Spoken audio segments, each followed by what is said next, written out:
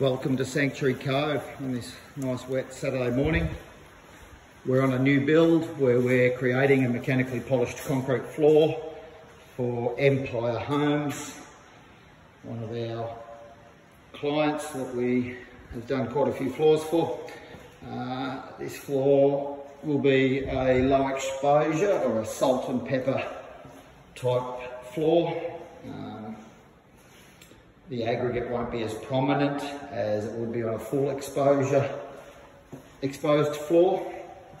We're currently densifying the floor. Um, it's uh, part of the process before the polishing phases. Uh, there's over 200 square metres of concrete to do inside and then we're also going to be honing and sealing outside in the pool area.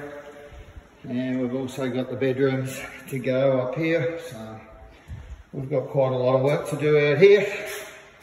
And uh, no doubt it'll have its challenges, but it should be well worthwhile in the end. Uh, we'll certainly be posting pictures as we complete the project and look forward to doing that. Have a good day.